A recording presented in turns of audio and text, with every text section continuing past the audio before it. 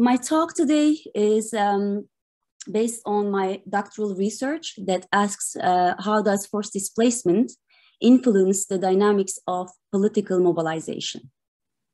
One could uh, imagine that uh, forced displacement would disrupt, uh, demobilize, and weaken contention. However, uh, my research shows that this is a partial conclusion. And uh, studies of forced migration, or uh, as it is recently called, wartime migration, exhaustively focuses on disruptions, losses, victimization, and marginalization. There is no doubt that uh, forced displacement in the context of war uh, leads to uh, a migration that enforces various forms of marginalization, be it social, economic, political, cultural, and psychological.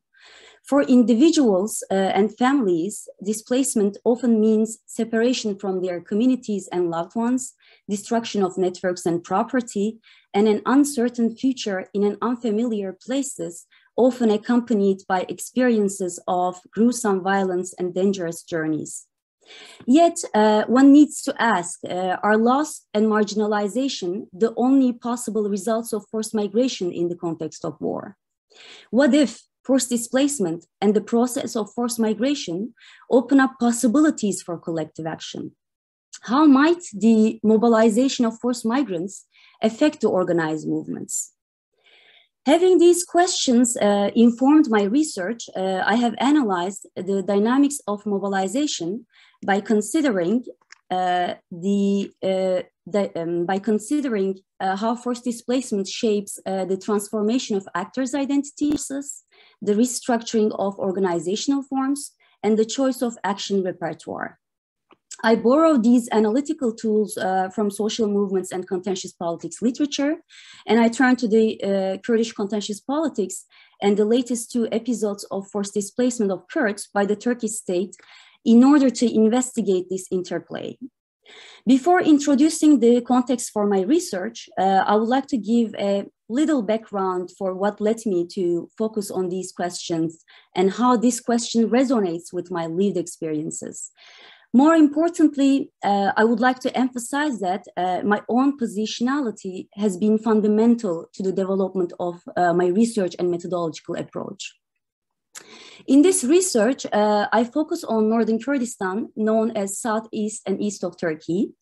Uh, there are more than 5 million displaced Kurds in Western Turkey and more than 1.5 million displaced Kurds within the official borders of Iraq, Syria, and Iran. The population of displaced Kurds in Europe is estimated to be around 2 million. And as one of those Kurds, uh, I am a child of a Kurdish forced migrant family from Diyarbakir, the symbolic capital for Northern Kurds. And my family had to move to Izmir, which is known as an ultra-nationalist and ultra-secular Turkish coastal city in Western Turkey. My experiences as a Kurdish child in Izmir were shaped by the exclusionary mechanisms of settler colonial social relations in Turkey and Northern Kurdistan.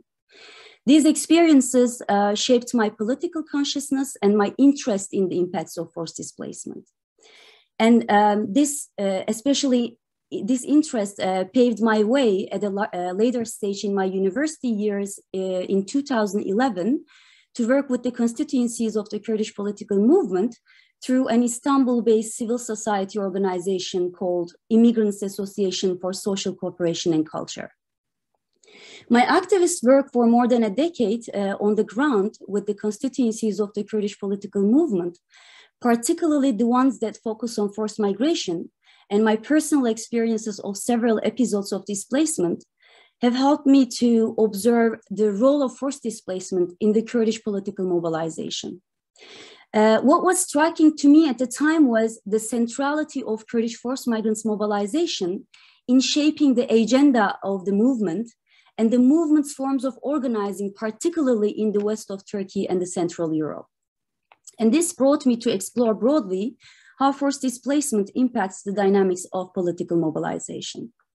Coming back to uh, my focus, the Kurdish contentious politics and the latest two episodes of forced displacement, I would like to provide a brief history to introduce the actors of the Kurdish political movement and situate them in contentious politics of Northern Kurdistan. One of the main actors that led the movement is the Partiye Karkeren Kurdistan, Kurdistan Workers' Party, or the PKK. The founding cadres of the PKK were inspired by the upsurge of anti-colonial struggles and Marxist-Leninist movements around the world in their early years of mobilization during the, uh, during the late 1970s.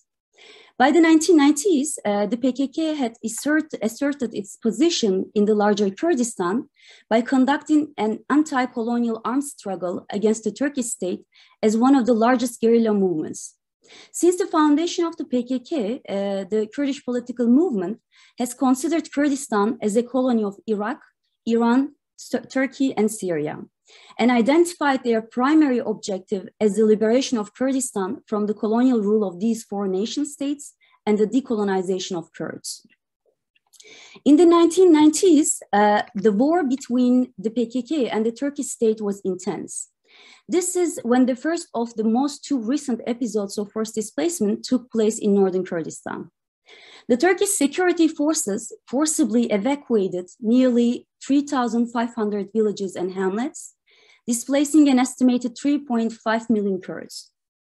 The second episode occurred in late 2015 when an urban warfare broke out in the city centers and uh, towns of northern Kurdistan in the aftermath of the collapse of the peace negotiations between the PKK and the Turkish state.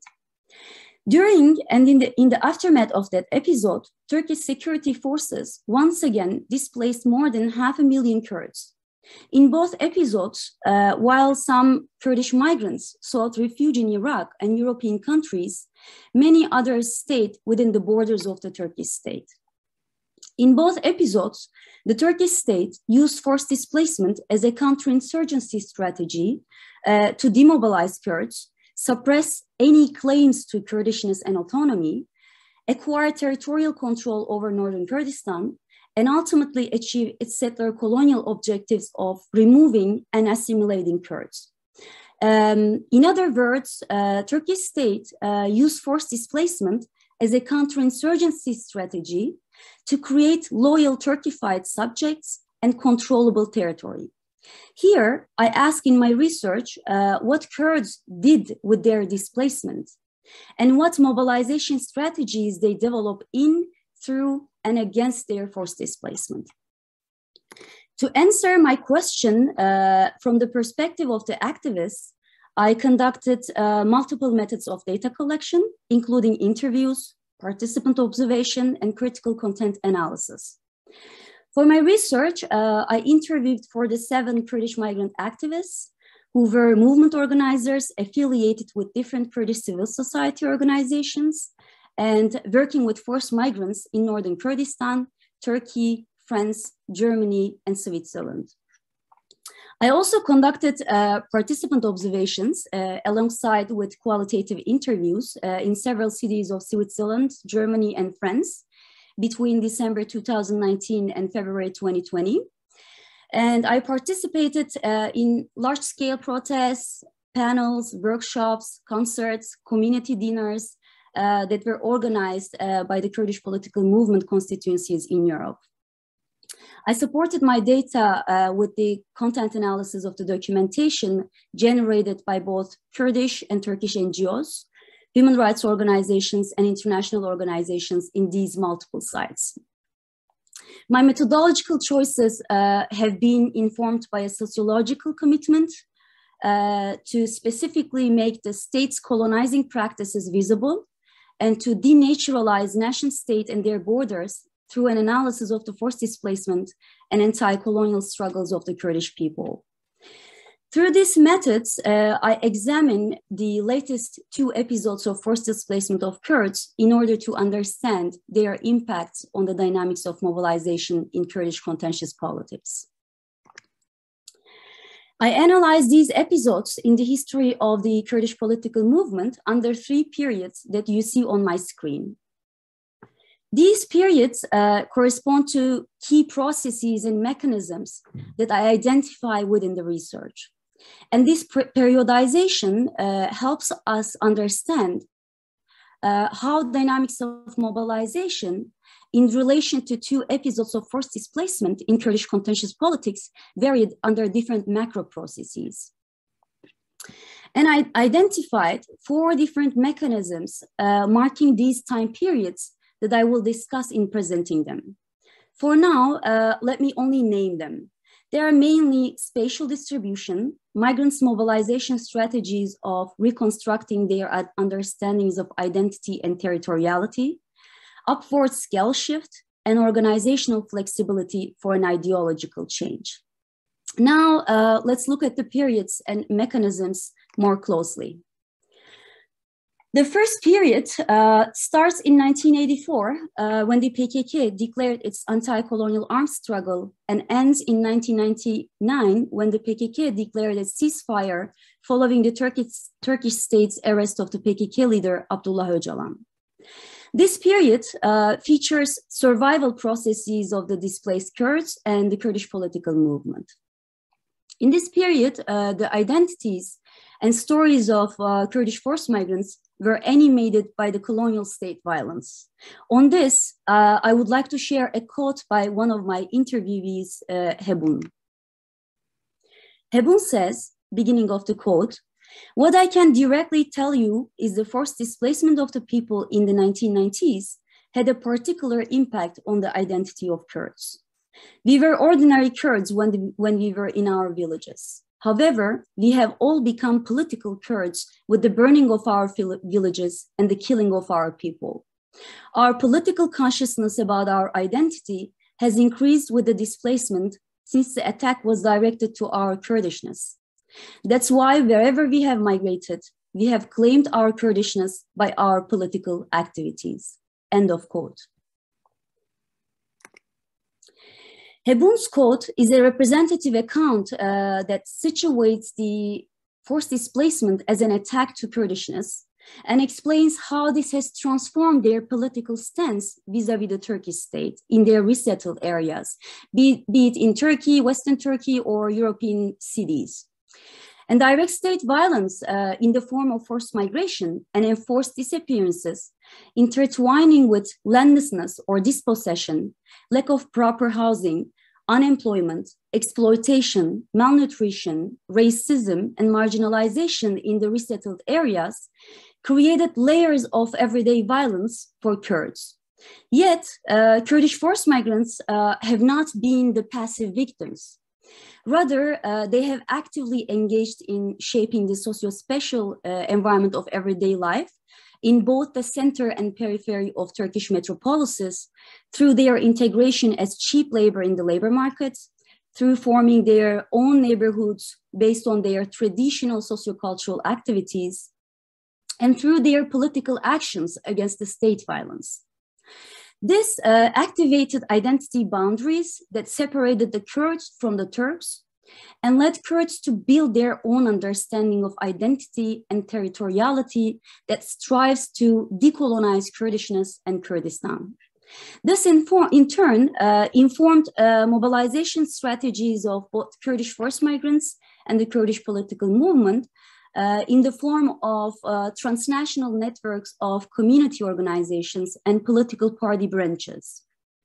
Therefore, uh, the number of hometown associations from Northern Kurdistan and local branches of the pro-Kurdish political parties increased particularly in the west of Turkey and Central Europe through the initiatives of these migrants. The forced migrants mobilization has also transformed the political registers of the Kurdish political movement. By the early 1990s, uh, with the mobilization of forced migrants, the Kurdish political movement exhibited two political registers that oscillated between legal and illegal zones, what I call on gray zones of Kurdish activism. On the one hand, uh, there was the armed guerrilla uh, force of the PKK, which was criminalized by the international bodies through the Turkish state's lobbying activities.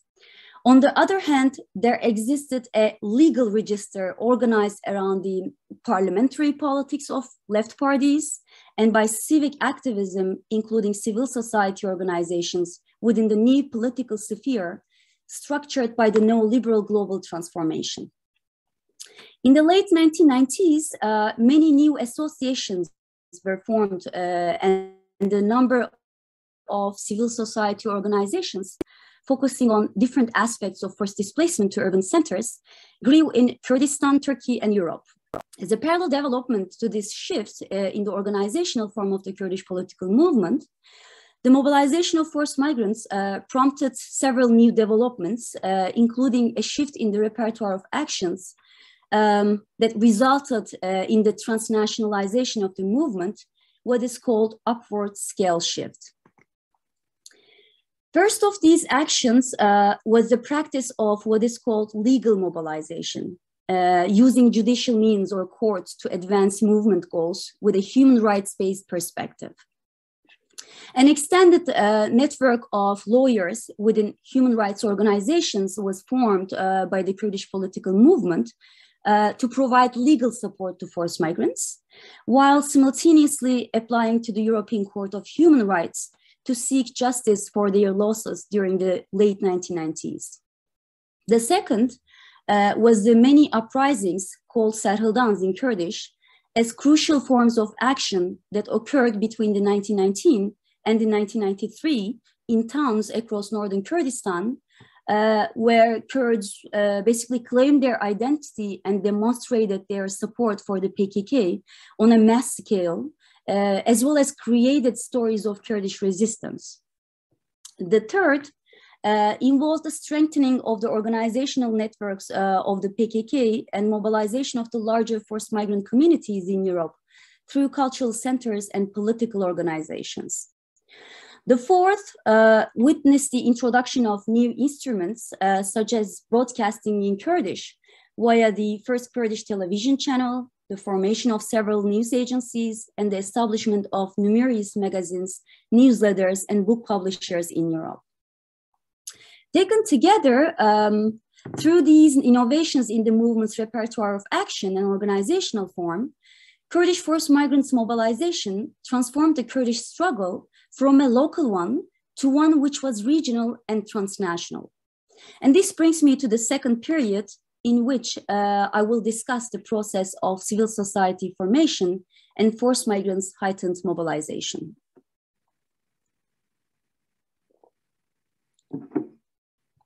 The second period uh, starts in 2000 uh, with the aftermath of the PKK's unilateral ceasefire. This period, what I call the civil society formation process, ends on September 1st, 1999, uh, sorry, 2009, uh, when the Kurdish political movement uh, publicly declared its democratic autonomy from the Turkish colonial rule in northern Kurdistan. During this period, uh, the PKK's objective uh, changed from one of state building for an independent Kurdistan to one of society building, uh, which was conceptualized as democratic confederalism by the imprisoned PKK leader Abdullah Öcalan. Um, in order to understand this shift, uh, I examined the PKK leadership uh, and carried analysis of the sociopolitical conditions of scattered societies, particularly the Kurdish ones, uh, across the Middle East and Europe. Such an analysis shows that uh, forced migration and forced migrants mobilization or activism played a key role in the organizational and ideological transformation of the Kurdish political movement.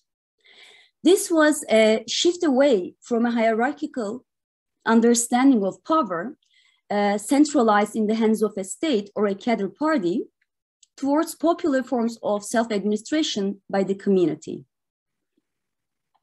The result uh, was a new concept of independence, one that relies on self-rule and direct democracy rather than on statehood, borders, and nationalism. This model uh, uh, also aimed at generating a meaningful radical alternative system of self-determination led by women that would eventually decolonize the Kurds. In this period, um, the movement's organizational flexibility and heightened transnational mobilization of Kurdish forced migrants and their crystallized political identities occurred as prominent mechanisms that led the civil society formation process for the Kurdish political movement. In this process, um, especially forced migrant women took the leading role in enacting the new organizational model. Separate civil and military structures political parties, and self-defense forces were advanced on and across Kurdistan, Turkey, and Europe. During this period, civil society activism uh, was central to the movement's political struggle. In line with the democratic confederal model, numerous neighborhood assemblies, youth and women associations, communes, cooperatives, and organizations were established by diverse religious and ethnic forced migrant groups across the region and Europe. The shift uh, towards establishing and strengthening civil society and forming diverse civil society organizations uh, was accompanied by expanding the local branches of the legal parties and developing alternative forms of municipal politics. Most importantly, um, forced migrants were the primary agents of enacting democratic confederal model, particularly in, in the urban centers of Turkey and Europe. Therefore, uh, most Kurdish civil society organizations and pro-Kurdish municipalities that were formed in this period prioritized the needs and demands of displaced Kurds and their mobilization in ways that uh, went beyond the legal mobilization, which was based on the discourse of human rights violation. This, uh, I would say, instead offered a decolonizing perspective for the formation of a Kurdish civil society. Let me tell you more about the um, influences of these developments through the third period. This period uh, begins with 2009 and ends with Istanbul's mayoral election in Ju June 2019. During this period, uh, the Kurdish political movement, equipped by an efficiently organized web of global networks of civil society, continued to further its project of decolonization by aiming to transform the society in a revolutionary way, strengthening the um, potential for resistance within the community, challenging the state's perspective and nation state borders in the region and Europe, and reminding the people of their communal strength. In this period, uh, the Kurdish political movements um, increased power together with the regional developments, particularly with the Rojava revolution in North and East Syria, and the emergence of a democratic confederal structure led by the Kurds in Rojava was perceived as a threat by the Turkish state. And it's still the case, actually. And these developments had a significant effect on the peace negotiations between the PKK and the Turkish state. The Turkish state aimed to contain and demobilize the Kurdish political movement through peace negotiations.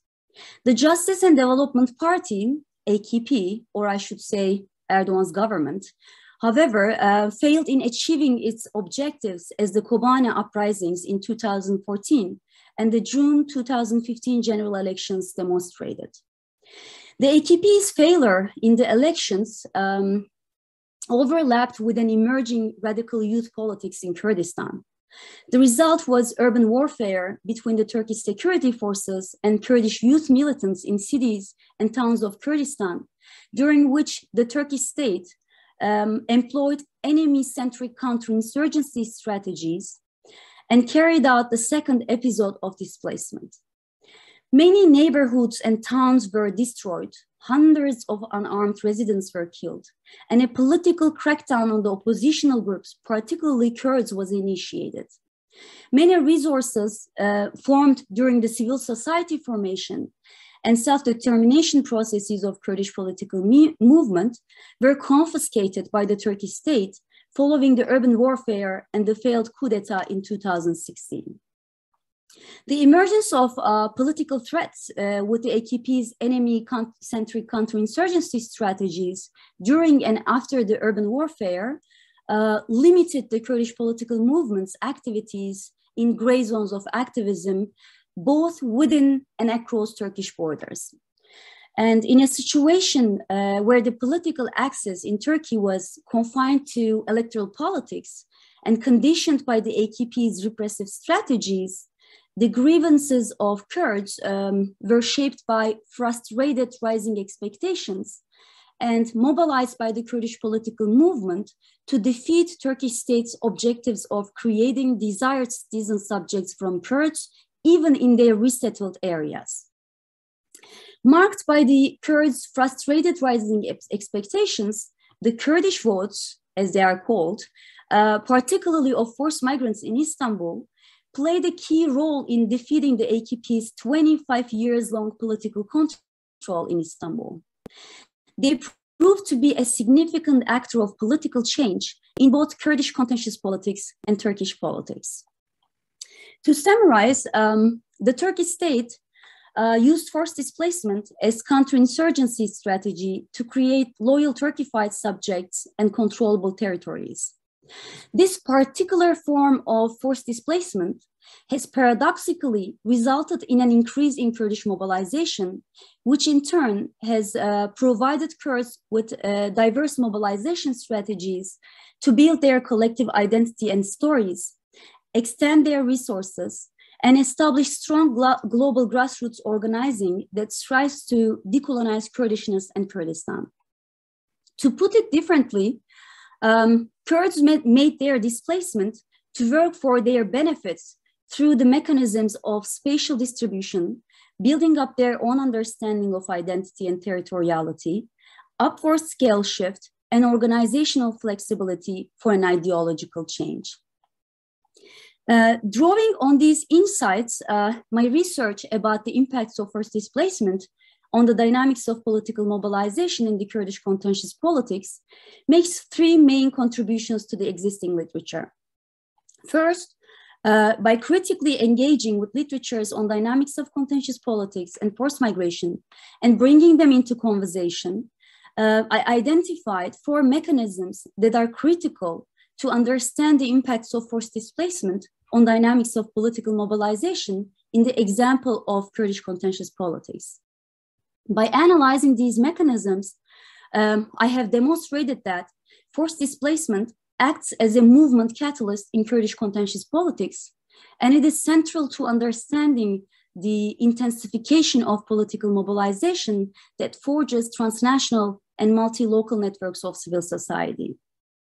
Second, by focusing uh, on the mobilization strategies of forced migrants, uh, I reject depictions of displaced populations that do not acknowledge their agency and ability to build forms of resistance, identity, and community, uh, even in the face of efforts to deny their very existence and impose settler colonial objectives. Instead, um, I propose that displaced communities are political actors who can come to wield significant power through transnational activism that challenges and contests the displacing settler colonial state and border violence. My research um, contributes to this literature by unpacking the impacts of forced migrants' mobilization strategies on their struggle for liberation. In doing so, uh, my research uh, challenges methodological nationalism and methodological uh, statism and that's my third contribution. In the last two decades, uh, critical scholars in migration studies have eloquently argued, argued that um, the legal categories and binaries, such as refugee versus economic migrants, internal versus external displacement, do not function as instruments of inclusion. Rather, they reproduce exclusion. And these legal categories serve dominant political interests, thus aim to discipline life and knowledge. And international legal categories also normalize statist and colonial perspectives in both research and policy. Scholars uh, have criticized uh, the methodological and analytical separation of external and internal in state in social sciences. And acknowledging these limitations in the studies of forced migration, I focus on both forced migrants who cross the uh, colonial nation state borders and those who stayed inside of these borders through the contentious politics lenses. In doing so, uh, my research extends the scope of forced migration studies by unpacking the cross-border mobilization strategies of forced migrants and not reproducing the centrality of colonial nation state borders in the analysis. Uh, I think I will stop here. Uh, thank you for listening, and I'm looking forward to hearing your questions.